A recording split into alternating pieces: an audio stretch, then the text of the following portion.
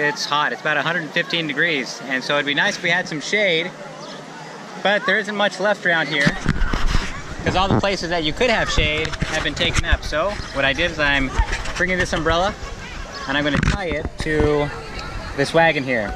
We have this part of our umbrella that would normally go into the sand, but we're gonna put it into this part of the wagon. So I'm just gonna screw this in there. And now what I'm gonna do is tie it to the support post on the wagon. So this is what I call a backpacker's hitch. I'm just gonna pass these two free ends through the inside of this loop.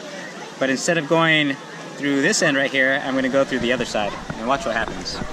Okay, so there it is. I had these two free ends and I just passed them through the inside of this loop, as you can see. And all I'm gonna do is shuffle this whole setup one way and then pull it tight. Sorry if I had another hand and I'd use it, but I don't. Okay, there it is.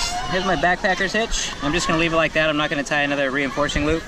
And this thing isn't going anywhere. It'll do just fine.